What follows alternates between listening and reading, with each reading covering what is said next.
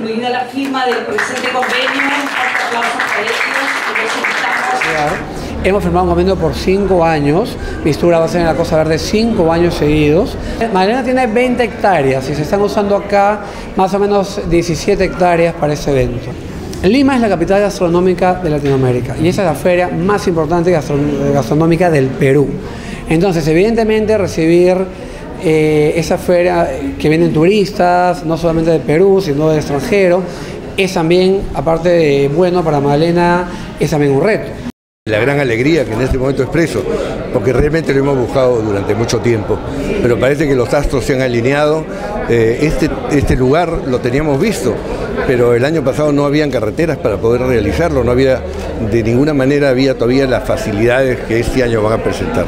Lo primero ha sido el estudio de ese lugar, que lo venimos haciendo hace más de dos o tres años. Hemos eh, llevado gente de constructoras, ingenieros, hemos mirado los terrenos, en fin, hemos hecho un estudio profundo. Y puedo asegurar y prometer en ese momento y públicamente que la seguridad va a ser de lujo eh, durante la celebración de Mistura, de lujo. Ya hemos instalado en la Costa Verde ocho videocámaras. El día de hoy no hay un centímetro de la Costa Verde que no pueda ser monitoreado. Y hemos ya construido, pueden verlo, abajo de una antena, ya hemos construido un centro de monitoreo.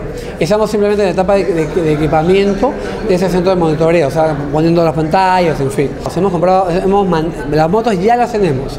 Y hemos mandado a comprar cuatro, cuatro motos. 20 motos, cuatro motos, lo que usted entenderá que la zona va a estar con un cuerpo de serenajo muy, muy grande.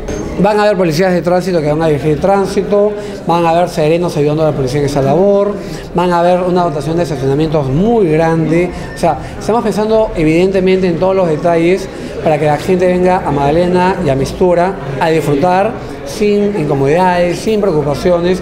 Eh, mejoramos mucho en este caso en Magdalena en el tema eh, del, parking porque hay muchísimas facilidades no hace falta dejar el automóvil a varias cuadras, mejoramos en el, tema del sonido, podemos hacer conciertos abajo porque rebota directamente hacia el mar.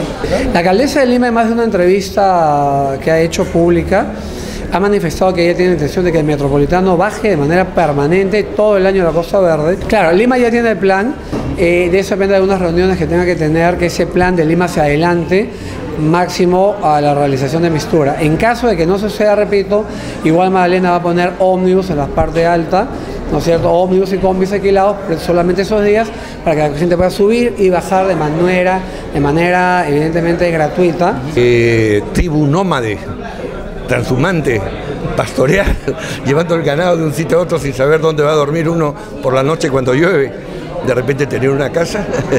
Imagínense lo que puede ser de productivo no tener que desarmar ciertas cosas, hacer baños y que las puedas encontrar el próximo año. Por favor, baja los costos y además nos sentimos muy identificados con este lugar. Realmente estamos muy contentos de estar en Magdalena, de poder producir nuestra feria, de poder producir la, la mistura.